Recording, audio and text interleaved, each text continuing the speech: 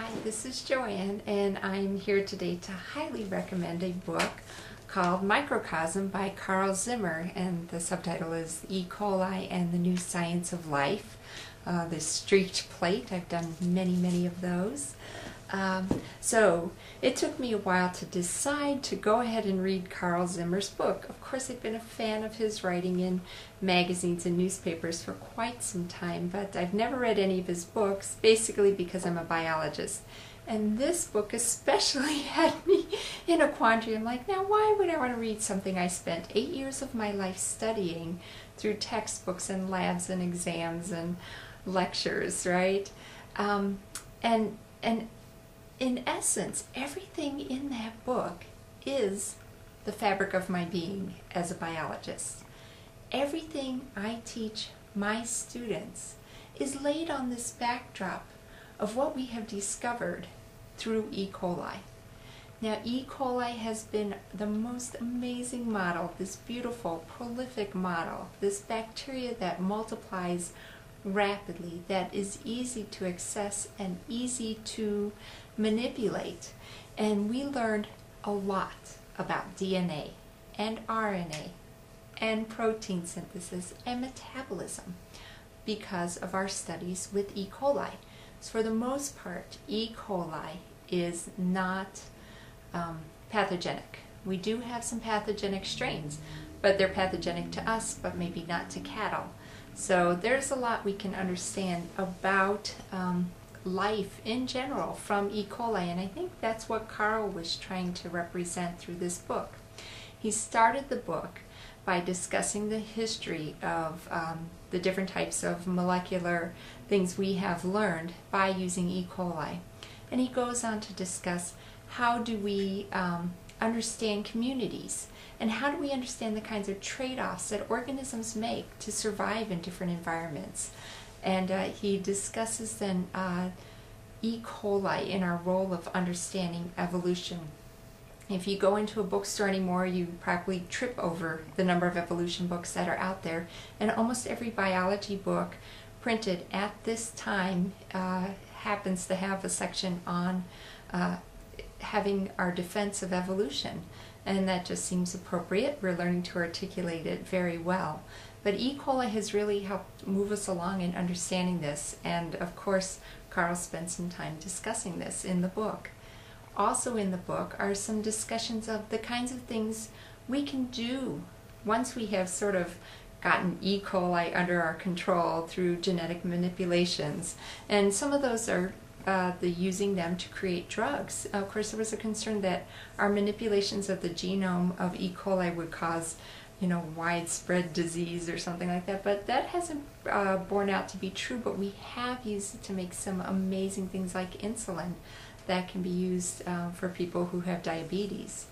Um, the book also discusses what I find very interesting because I happen to know some students involved in this is um, a uh, competition essentially for students called iGEM, where it's the International Genetic Engineering Machinery, where we um, we are able to uh, genetically manipulate uh, E. coli and cause them to do things we wouldn't normally expect, like to absorb light and change colors, or to have a different smell. So we, we use these type of things to sort of push forward the science a little bit and to get young people really excited about this. Now what I really loved most about this book is the fact that I knew all this stuff so well and so deeply that reading this book to me was like floating down a river in an inner tube on a warm day. That all I had to do was just sit there and take in the scenery. All I had to do was take in Carl's writing style. I didn't have to worry that I would miss out on information. The only thing I think I ever got confused on was he was describing beautifully with some imagery of um, RNA polymerase and DNA polymerase, I believe, and you know how that we have a zipper and we have scissors and things like that. And then two pages later, he he has a chart with some, you know, enzyme or gene name, and I was like, now why would he do that? Keep it simple, but then make it complicated. And then I went, oh, I do that too. Was my students, but I specifically say by the way, I've been teaching you everything you need to know in a very simplified manner so that you have your basic concepts.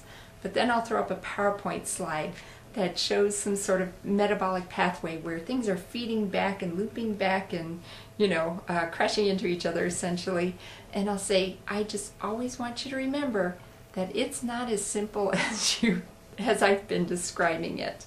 So just just know what you need to know to do what you need to do in this class, but always remember that the research behind this is much more complicated than I've been letting on. And I think that's what Carl did in his book without telling us that's what he was doing. Um, what another thing I really liked about the book was this reminder of um, Carl Woese. Now, the evolutionary tree had uh, traditionally been divided into two branches. We have our prokaryotes, who do not have a membrane-bound nucleus, and we have our eukaryotes, which is like us. Prokaryotes are bacteria. That uh, eukaryotes have a membrane-bound um, nucleus, right?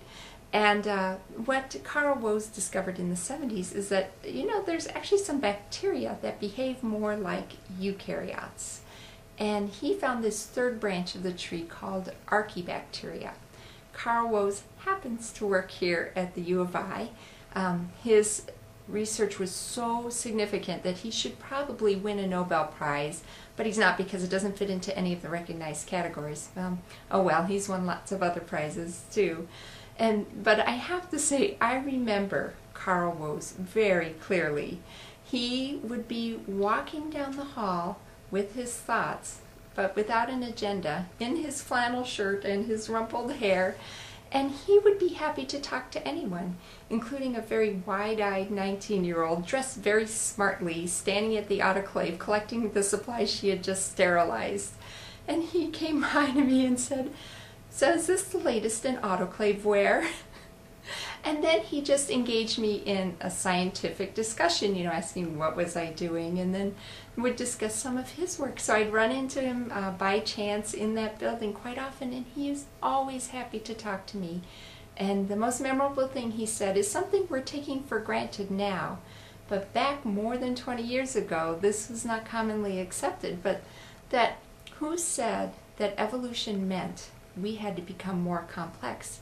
Why doesn't it mean we're becoming simpler? And actually, Carl puts that in his book, um, not directly attributed to Carl Woese, but from Carl Woese was the first place I heard it. And it's just scientists like that that make um, students like me at the time enjoy science more and to know that you know these people really care that the next generation is ready to go. And um, and I think in a way, Carl is making his own, Carl Zimmer is making his own contribution to future scientists as well. Um, and of course, it's entertaining all of us um, well-educated uh, science enthusiasts too. So I'm going to highly recommend that uh, if you have not read this book, go ahead and do it because then you will really understand molecular biology and you will understand how E. coli has really set up the basis for everything that uh, a lot of us molecular biologists stand for. So thank you for listening and enjoy. Thank you. Bye.